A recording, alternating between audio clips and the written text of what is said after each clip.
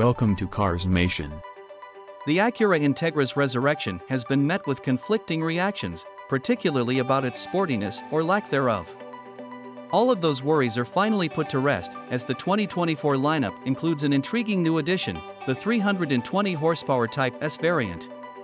This new model is expected to wow, as it is based on the Honda Civic Type R hot hatchback, and it features a turbocharged 2.0-liter four-cylinder engine, a six-speed manual transmission, and a limited-slip differential. The Type S appears to have a more aggressive posture, promising a driving experience to match its remarkable appearance.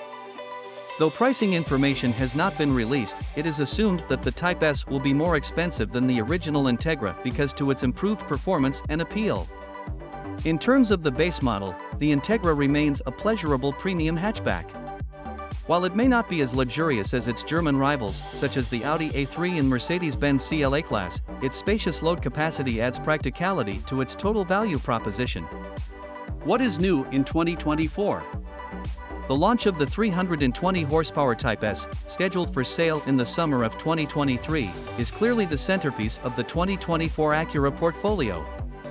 This high-performance edition not only has greater power, but it also improves the driving experience and has a striking design.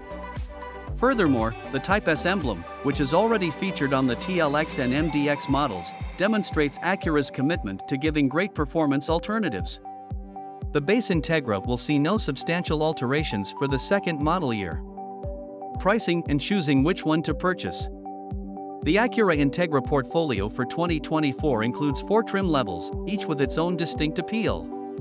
Starting price $32,695. A-Spec, starting at $34,695 A-Spec technology, starting at $37,695. Type S, the starting price for this model is $51,995.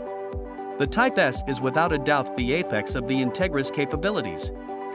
The A-Spec technology trim, on the other hand, stands out for customers looking for a more appealing alternative at a lower price. Both the Type S and A-Spec trims come with a 6-speed manual transmission, which will definitely appeal to driving fanatics. Performance, engine, and transmission. The basic Integra is powered by a Honda Civic Si-Source 200 horsepower turbocharged 1.5-liter four-cylinder engine. All 200 horsepower variants are front-wheel drive and come standard with a continuously variable automatic transmission (CVT). A-spec versions, on the other hand, come with a 6-speed manual transmission and a limited slip differential. The Type S, on the other hand, raises the bar with its mighty 320 horsepower turbocharged 2.0-liter inline-4 engine, which produces an astonishing 310 pound-feet of torque.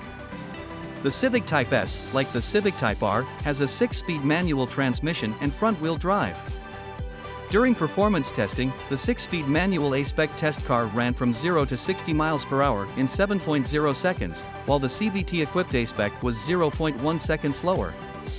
Notably, the Integra has adjustable dampers for the suspension, and the A-Spec variant has an individual mode on the drive mode selector switch, allowing drivers to tailor their driving experience.